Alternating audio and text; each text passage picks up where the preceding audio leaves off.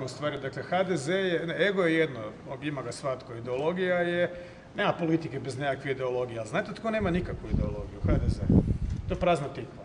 Dakle, u nju možete uliti sumporne kiseline, urina, vode, što god hoćete. Dakle, sve unutra e, sedinsta i sve može biti.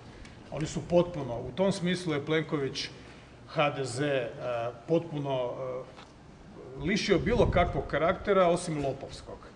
To sad cvate i u stvari sve ono što je nekad i bila ideologija se maknulo i sad je isključivo lopovluk. Ne?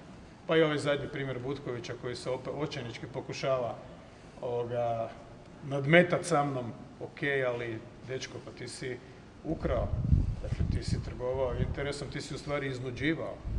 Ti si iznuđivao od kooperanata ministarstva, da zaposle nekog prijatelja ili Stričevića od Josipe Rimac. Pa za to se ide u zatvor. I iće se.